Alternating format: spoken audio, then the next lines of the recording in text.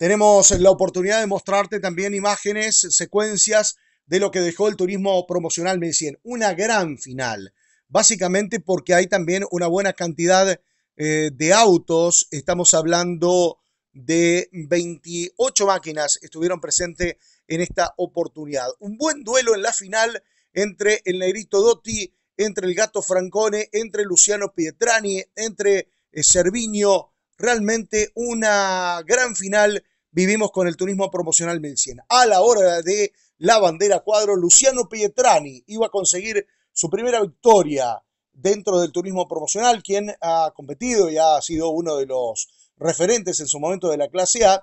Ahora dentro del turismo promocional se iba a llevar la victoria en 19 minutos 59 segundos 593 milésimas. El gato Francone, Gastón Francone, el hombre de San Jorge, iba a ser el segundo. Matías Cerviño iba a ser el tercero, ya que Gabriel Dotti eh, iba a ser eh, excluido a la hora de la técnica.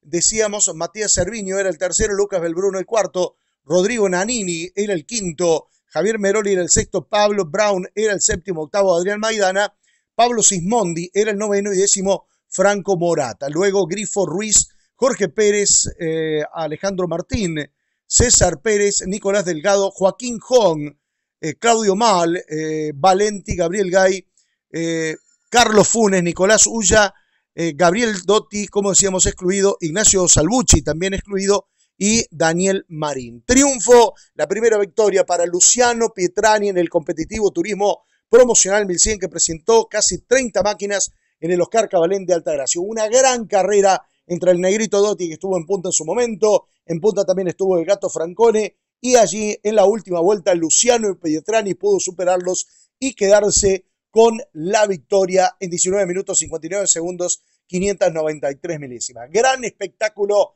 del turismo promocional 1100 de las categorías Capicor en Altagracia.